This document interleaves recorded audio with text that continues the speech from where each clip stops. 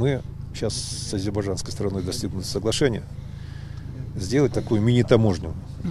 Оборудование специально поставить на нашем первом посту, который находится везде. там находится. А вот эта мини-таможня, которая будет установлена, насколько мы можем быть уверены, что она не будет также пропускать иностранных граждан без разрешения азербайджанской Любой стороны? запрос скажет, хотим вот эту машину посмотреть, что там было. блин. Тут же информация, что она везет, что это сам. А Там сканирование. Разве это не работа РМК проверять проезжающий транспорт?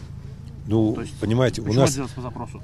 а, еще раз повторяю, у нас технический средств проверки до, вот до настоящего момента не было. Солдат открывает, там под какими-то мешками, под каким-то грузом может провозить, э, что это самое. Его бы сказал- Трейлер какой-то идет, вот, допустим, машина. Ну А как? насколько полноценно там можно говорить об обеспечении безопасности, если нет средств для полного проверки, полного контроля?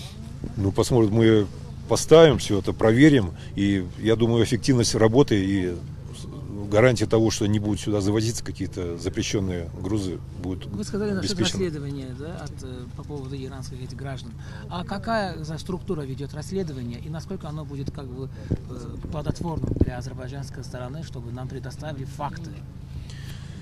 Мы все проверим, и наши, у нас есть здесь специальные органы, специальные службы, и мы перепроверим несколько раз и спецслужбы э, СГБ Азербайджана, и местные здесь органы. Все это будет информировано, проверим, чтобы убедиться, что это действительно ну, объективная была информация для того, чтобы можно было принять какие-то решения.